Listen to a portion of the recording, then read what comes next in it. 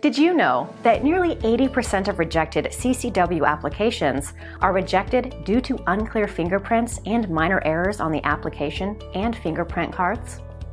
Because getting your fingerprints is a vital part of the Arizona CCW process, we've streamlined our services to offer our clients a safe and efficient way to get your fingerprints completed.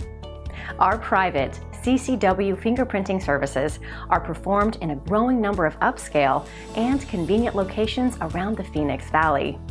Additionally, we offer a complimentary application review to make sure all your paperwork is in order prior to submission to AZDPS. Booking an appointment is simple. Just pick the location and schedule a time that works best for you.